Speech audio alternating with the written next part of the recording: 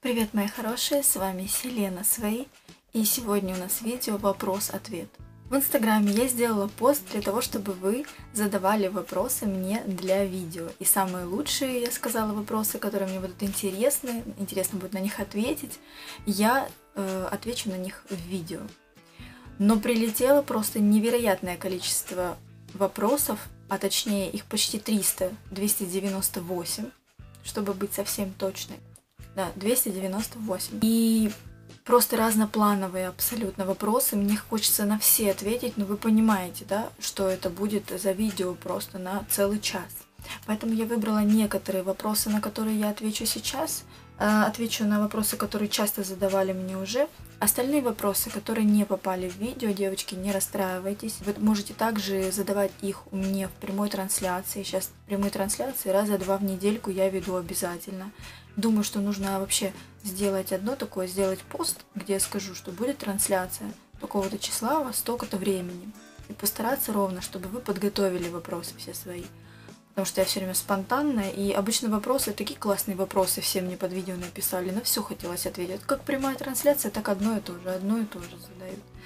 И вообще надо тематику какую-то делать. Ссылочку на Инстаграм я оставлю. Кто еще не подписан, подписывайтесь. Давайте активничать вместе и отвечу на все вопросы обязательно. Либо в видео, либо в Инстаграм, прямых трансляциях, либо еще где-нибудь обязательно отвечу.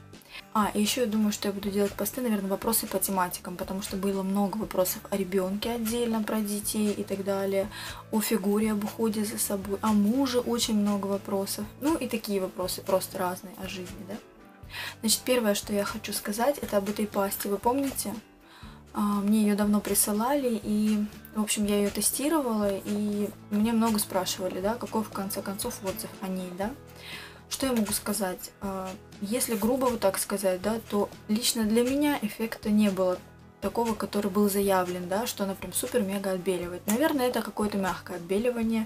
Отбеливает настолько, что я не заметила ничего, да. У меня вверху стоят виниры, внизу у меня зубы, которые я отбеливала, и как раз их пора было уже отбелить. И вот я начала пользоваться этой пастой, в принципе, что-то интересное, может быть, она чистит, в принципе, хорошо, да, вот камень где-то поубирала, там еще что-то, но чтобы она отбеливала саму эмаль зуба, я этого эффекта не заметила. Вот, это такая паста, вот след, она светится. Ой, что-то я не то открутила. Вот, светится она. Накладываешь ее на зубную пасту и потом светишь зубы вот так себе. В общем, вот такая паста.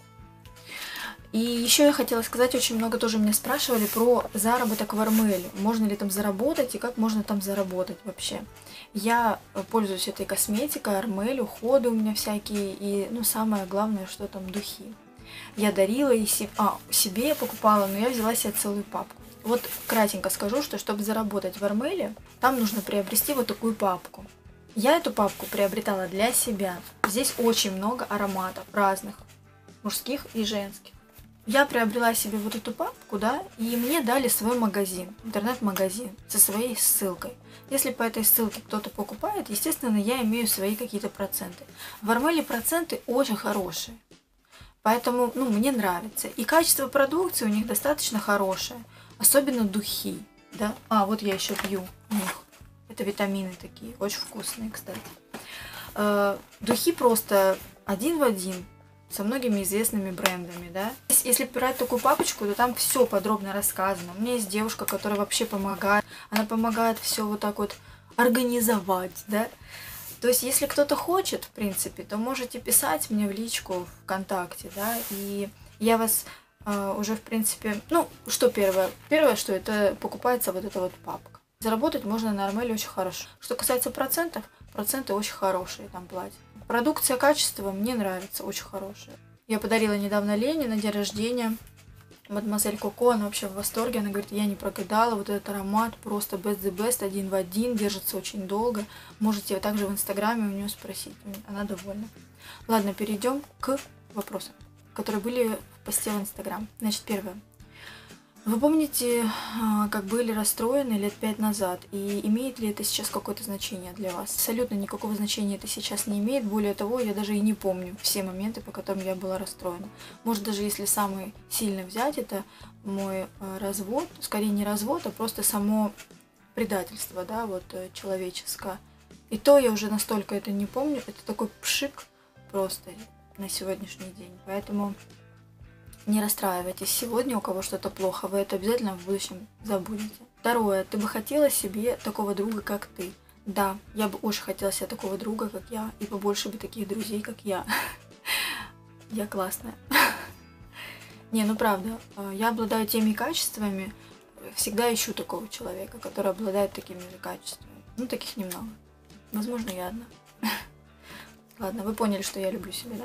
Какие психологические практики ты пробовала еще? Я пробовала еще эриксоновский гипноз. Помимо тех, которые я рассказывала, вот про эриксоновский гипноз я, по-моему, не рассказывала. Я его проходила курс, у меня даже сертификат где-то есть, что я типа там мастер, ломастер. Но мне очень понравилось. Можно помогать как другим, так и себе, и очень такая легкая практика, достаточно эффективная. Это я проходила, когда еще училась. Хочешь ли еще деток и как относишься к child free? Это люди, которые сознательно не хотят иметь детей, не желают.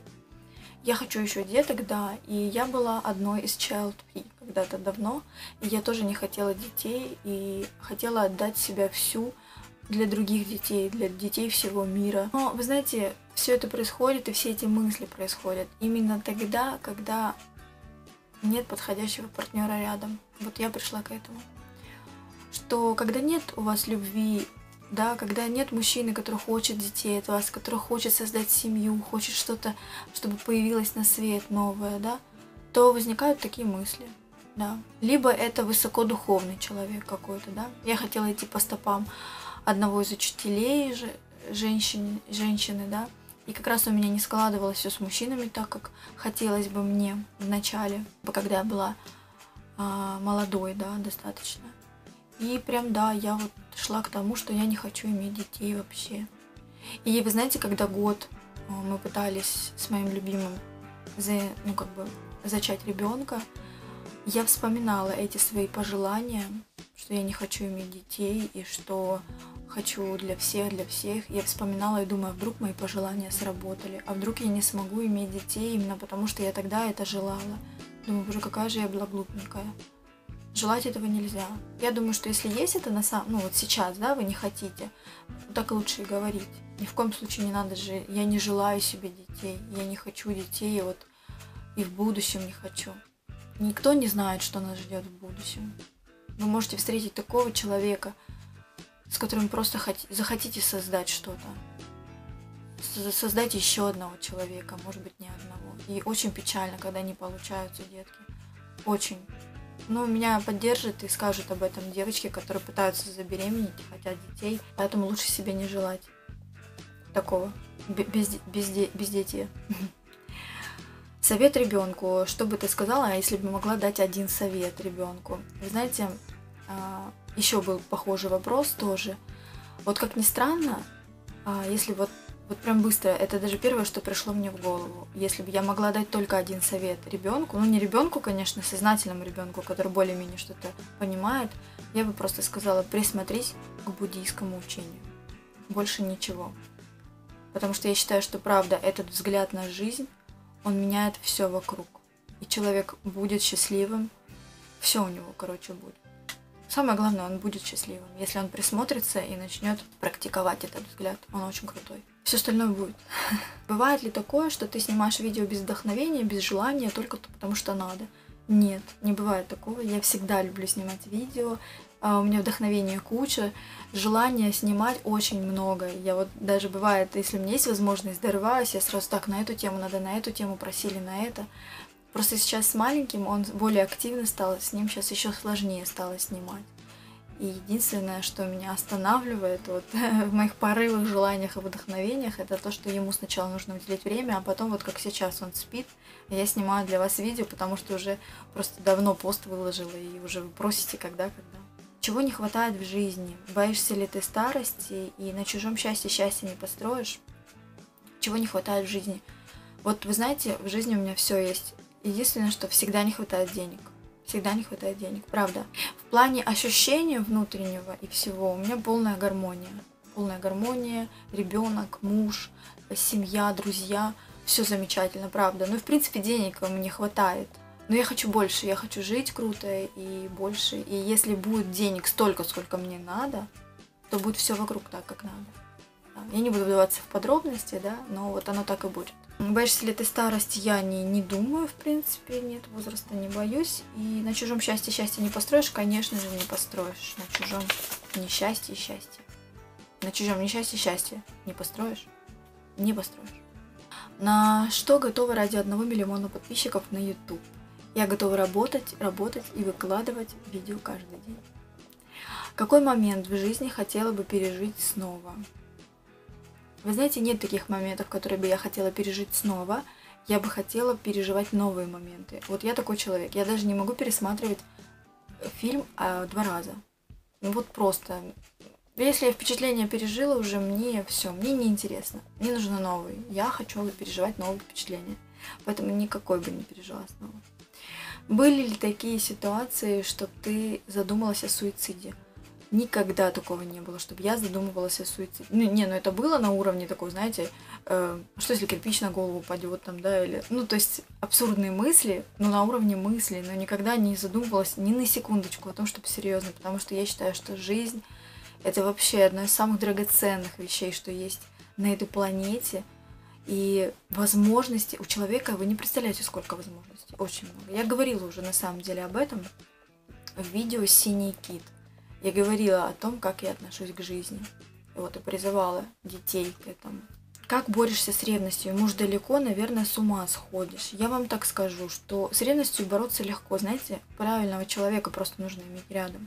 Ревность это на самом деле не что-то вот такое, да, там, я считаю, да, сумасшедшее. Как бы я не встречала еще такого. Я просто знаю, что ревность бывает у людей, которые там не доверяют. А не доверяют они не просто так. Каждый человек видит, кто для него на 100% выкладывается. Если найти правильного мужчину, то он усыпит вашу ревность. Он будет себя вести так, что ваша ревность даже при самых вот таких вот где что не найдет. Все гладко, понимаете? У меня такой мужчина. Моя ревность спит. За что ему большое спасибо. С нелюбимым в достатке или с любимым в шалаше. Вы знаете, пробовала я с, нелюби... Э, с нелюбимым в достатке. Это вообще не мое. Это просто никак. И с любимым в шалаше тоже не получилось. Поэтому с любимым в достатке. Только так. Иначе не надо вообще никак. Ну и тоже мужчину правильного надо выбрать, который точно так же скажет. Ему не надо шала... любви и шалаша. Ему нужна любовь и супер-пупер все вокруг. Был ли переломный момент в жизни, когда расставалась с парнем, и весь мир под, из-под ног уходил? А, как ты с этим боролась? И похожее вот э, самое а, сильное предательство, тоже вопрос был. Скажу вам, вот одно из моих самых сильных предательств в жизни, которое я помню, да, и оно же связано с молодым человеком, а точнее с моим мужем первым самым. Это был такой переломный момент. После этого мне казалось, все, сказка разрушена. В то, во что я верила раньше, да, что вот один раз и навсегда. Вот встретил, поженился, все, навсегда. Что на самом деле этого нету.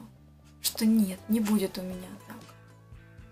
Ну и что это жизнь, в принципе. Не то, что я какая-то такая. У многих так вокруг. Я не единственная такая и сказка разрушена. В тот момент я немножко, я как бы знала, что у меня все будет хорошо. Все равно я создам себе эту сказку, во что бы мне это ни стоило. Я создам эту сказку, у меня будет хороший конец.